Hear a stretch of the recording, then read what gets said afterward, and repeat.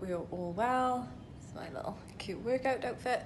So, right, today, overall, I probably will be traveling eight hours to just like get a meeting. So, for example, I had to go to London for a work meeting and then later tonight, it doesn't make sense to travel back to Wales to then travel to Blackpool the day after. That would just wipe me out. So, after the meeting, then I'm going to travel to Blackpool and I'm hitting the gym now because if I do not hit the gym, it's very easy then to probably like go a bit into depression a little bit, start being a bit bitter about my job.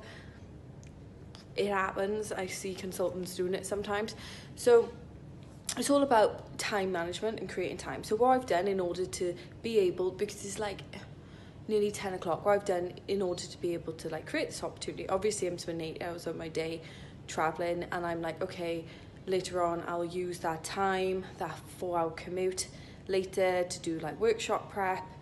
But then I've also, anyone that's dependent on me, uh, because I'm doing the workshop with them, I said to them yesterday, I was like, okay, is there anything you need from me? Okay, we've done this, can you review it? Blah, blah, blah, that's fine, don't need anything from me, so that's sorted. Done my emails, and then for my other project, I've talked to my project manager, I'm like, okay, um, I'll use this as a priority now, doing these training materials, this quality bit, uh, because there's no direct phase, can we put onto later? You know, agreed with the priorities. Uh, with my um, lead, so with my counterpart, I was just like, okay, so if I take full, you know, pretty much do all the training, uh, use this document you've given me, can you do this? Uh, because because I'm offshore, it's hard to kind of like work with um, the client face to face, you know. Uh, so I was just like, I've given you all these notes, can you take ownership of that? And then I can take ownership of this, and then it all works out well. So that's how I've managed to fit the time in. I feel good. And this morning on the train, I was just like, because I'm like quite last minute planner, I wrote down like step by step of what I need to do for my workshop, literally like get this data sorted, do this, do this. And then all those little questions like, what train station do I need to be at? Where's the work meeting at? So to save me running around like a headless chicken. And then I even fitted in like a 45 minute nap. So you can't just be like, okay, well, I'm traveling all this today, and then you just give up your health.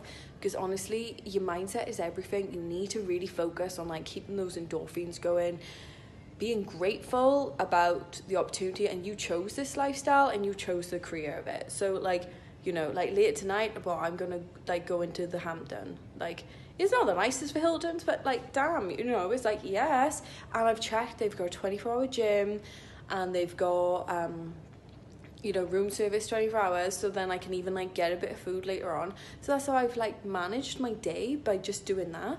Um, and then I'm like, okay, I go to bed. Obviously, you know, I'll get there maybe like half 10 at night. So I'm like okay go to bed at 11 wake up at half 7 because obviously for me traveling knocks me out. So I'm like okay need to get all the sleep. So that's how I've managed that. So I've managed as you can tell I've talked to my project manager I've managed my workload because I finished last night at 8 so it's just kind of like getting it all together planning because if you fail to prepare then you prepare to fail okay I hope it really helps. Um, I hope that, you know, obviously if you're trying to balance like different workloads that you understand that you're a priority and that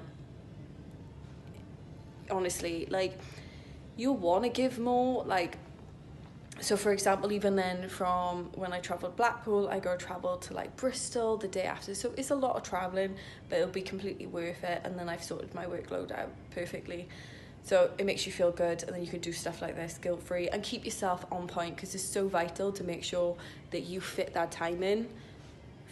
You know, for yourself as well, but also that you even like all your work down. So what I would say, when you probably lack of sleep, get like so you're preparing for a workshop. It's like okay, go through the PowerPoint, feel really comfortable with the PowerPoint. Um, are you doing a demonstration? Okay, if you're doing a demonstration, what data? And like split it out that step by step so you have this list instead of like, you know, sitting there be like, oh, prepare for the workshop.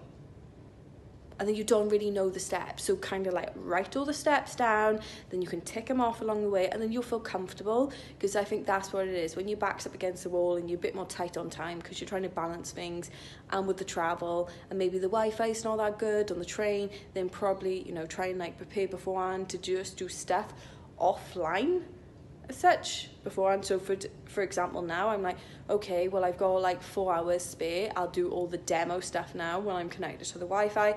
Then later on, I'll just you know, I'll just go over the pack and stuff like that. I hope it helps. Um, have an amazing day. See ya.